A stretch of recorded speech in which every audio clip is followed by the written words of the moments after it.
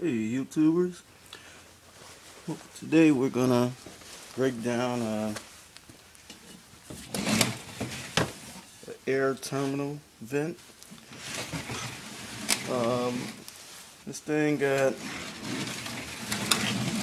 the most valuable part in here is the is the copper radiator. Um, these things go for about maybe a dollar fifty a pound, maybe less at this time. They may be going for a dollar ten, fifteen, depending on your supplier. But uh, today we're just gonna break one of these down and take all of the copper off. And inside of here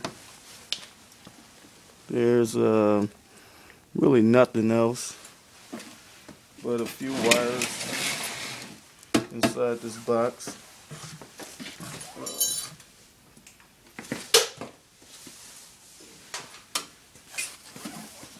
Let's see which one we gotta use. Gotta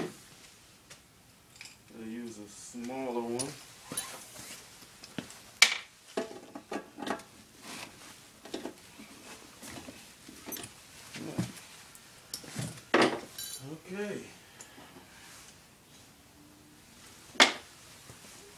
Tiny, tiny. Yeah, these things. Yeah, you're not gonna make much off of them, but if you have a whole lot of them, you get them out of an industrial place, industrial industrial warehouse. I got about four of them, and they range in sizes. I do have a bigger one than this one and a smaller one. This is much more of a medium size. Terminal vent. But the most valuable part, like I said, is the copper radiator in these things. And it don't take long to break these down. If you have a proper tool. As you can see, just a small little board inside get a closer look at it. There's some wires. So pretty much you just get the wires cut, yank the board out. And what I'm gonna do is cut this off, save the copper, pull the radiator out, and we'll see what we have from there.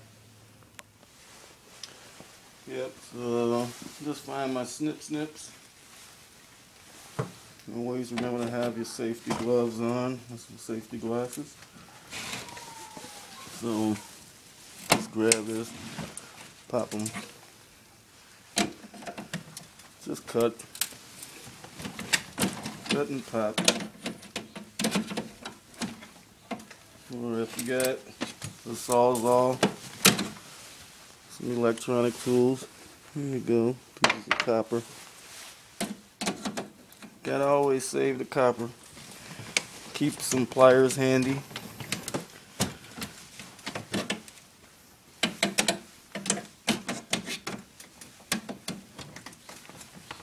And pretty much just stack these things, you know. Always try to save your copper radiators because you take them in, you get over a hundred pounds, then it's worth it. So air conditioners got even heavier ones. In cars, you can certain vehicles, trucks, older models, you can find even some brass radiators inside of those things.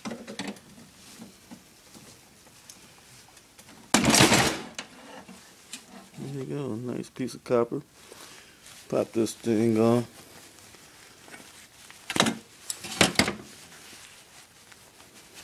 Yeah, cut that thing off later. So you just pretty much follow that technique.